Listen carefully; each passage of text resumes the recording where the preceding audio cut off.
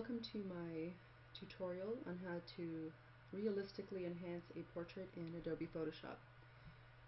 I chose this particular portrait uh, partly because I think that she is a beautiful model and love her eyes and the color of her hair and I also think that it is a perfect portrait to work on because she doesn't appear to be wearing any makeup and I don't see any evidence of any past photo manipulation.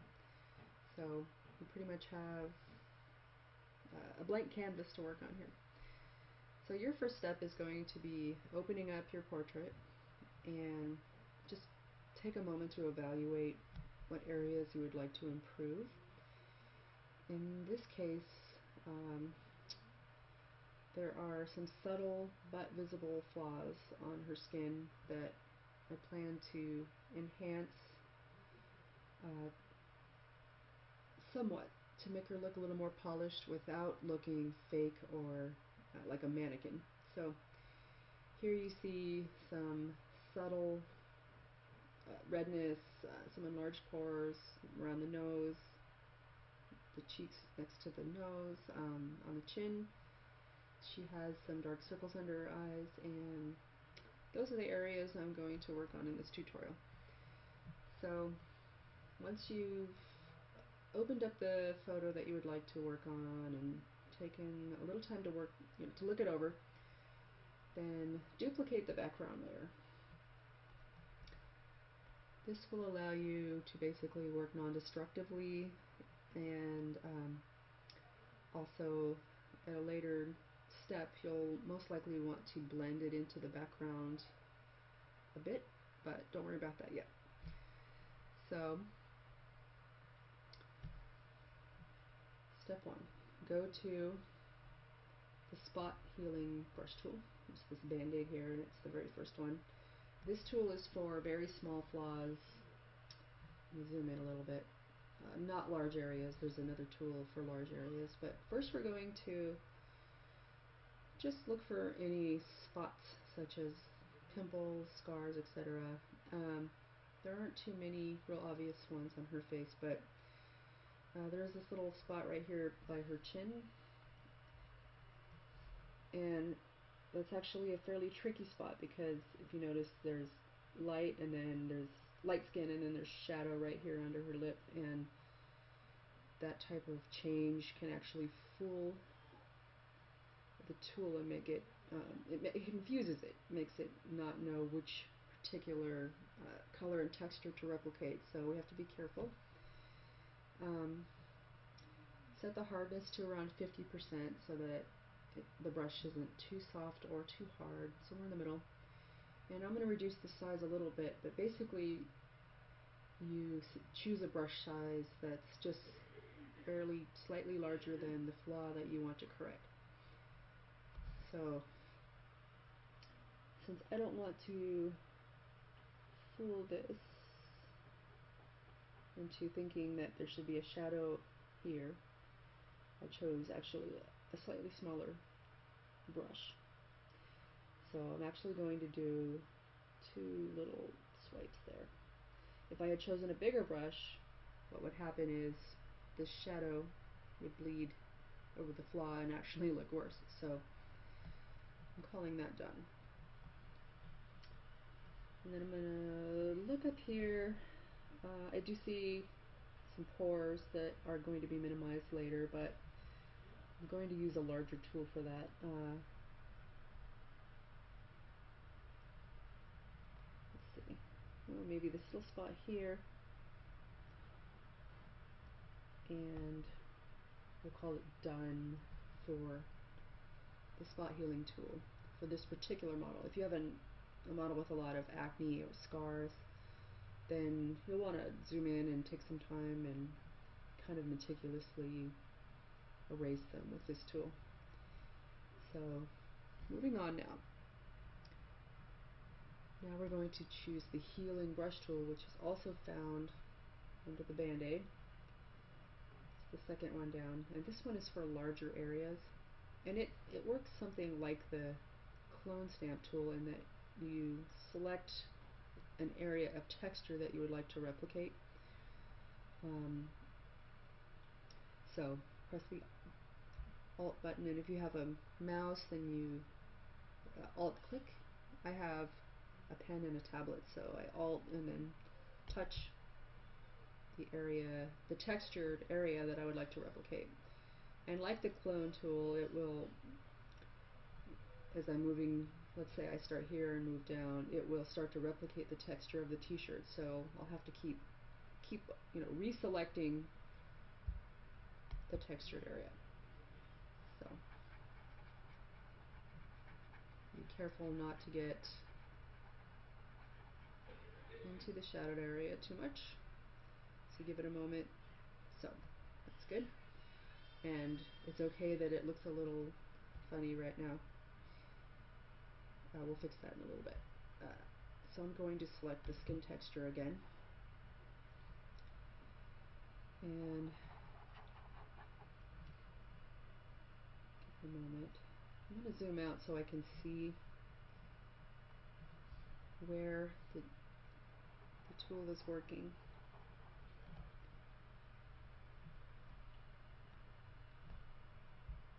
There we go. You can see the little square down there. It's showing you the part of the neck that it's replicating. I don't want it to go down in the t-shirt because then I have to undo that spot and start over. So keep reselecting the neck.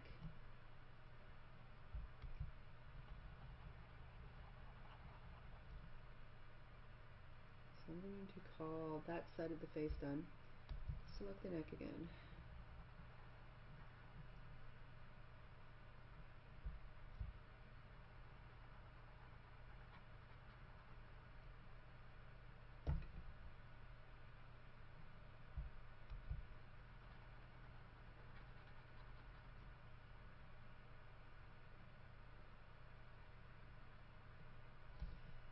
I'm actually going to undo that part because it started to pick up the shadow over here. So redo it.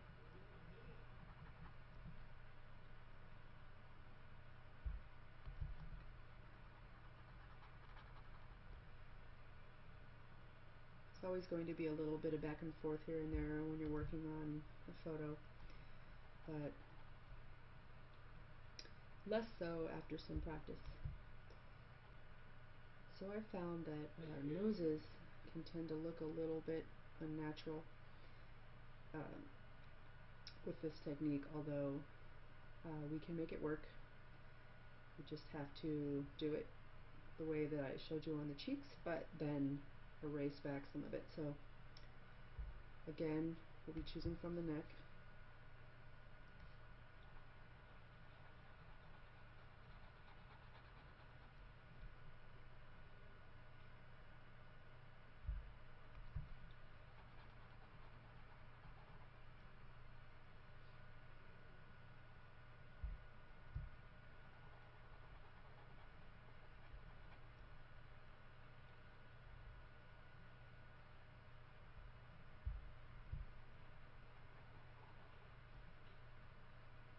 Okay, so obviously that looks awful at this point, but choose the eraser tool and set the brush at, let's just start with 30% and then make it larger so that we can pretty much erase away quite a bit of it. And that looks almost there.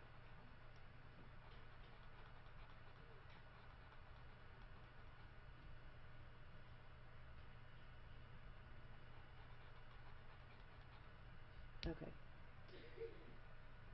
I'm going to do a little bit of erasing on the cheeks to kind of even out some of that grayness.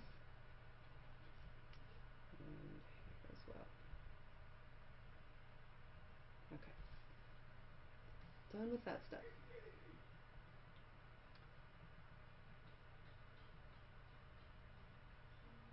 And it is definitely normal for it to look a little unnatural at this point, so don't worry about that. Now we're moving on to the patch tool, and I'm going to use the patch tool to correct or dramatically improve her under eye circles. And again, I'm not going to make her look like um, a mannequin. It's going to be something of a subtle improvement. So the patch tool can also be found under the band-aid. It's the third one down. And this can be used for dark circles, um, it can be used for bags under the eyes to um, improve them, again without making the model look too fake. So I'm going to use it to select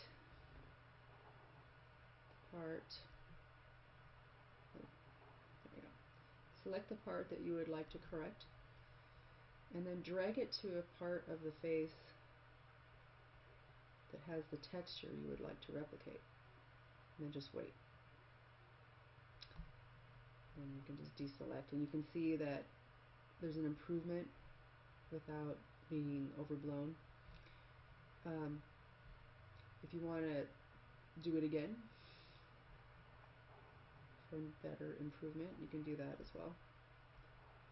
Sometimes twice is the trick. Uh, so that's better. So I'm going to do the other one.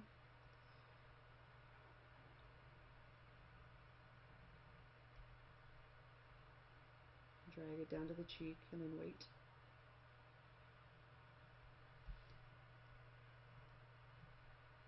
Again, do it the second time.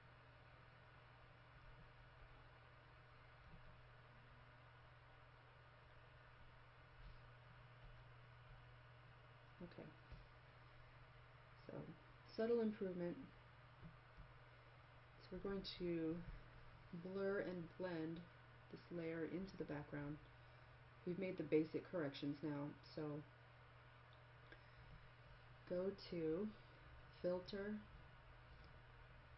and then blur and then surface blur and set the radius to um, 2 and then the threshold to 20 and then click OK. and then you'll see there's definitely been an improvement. And then zoom in.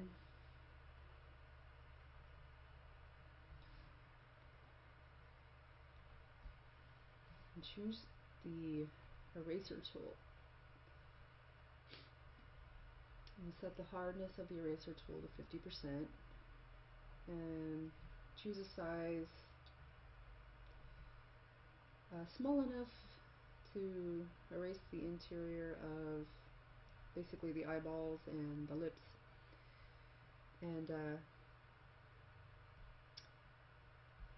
erase them at 100% opacity so let's turn it up back up to 100 and this will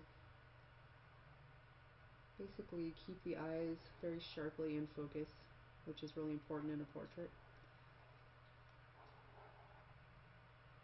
kind of go into the eyelashes and like the waterline a little bit.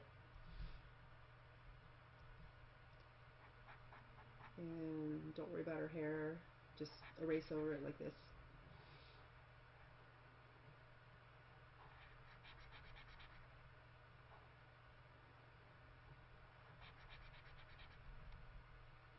A little bit into the eyelashes.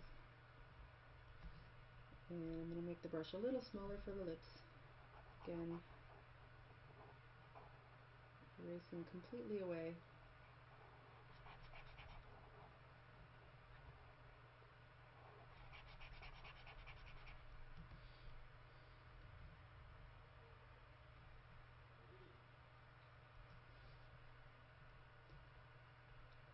Now,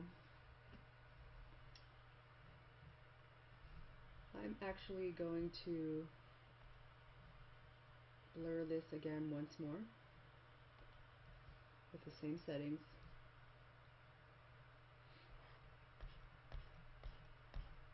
You can see by dragging this around that even though I'm blurring it again, the eyes are still erased. So click OK and that will basically make the lines around the eyes completely blended and no sharp edges. So now is where your background comes in handy. You can change the opacity of the background copy layer generally somewhere between 40 70 percent um, so you, know, bring it down to zero and you can see all the, the flaws are still there. Start bringing it up.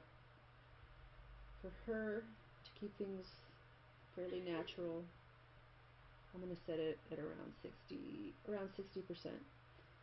Um, maybe even up to 70 70 looks great. So dramatically improved skin texture. Uh, the dark circles are softened, but she still has realistic skin texture. She still looks like she's not wearing makeup on her skin, which um, you know may or may not be important to whoever you're editing. But um, makeup is a different tutorial. so now you can go ahead and flatten your image and you're all done.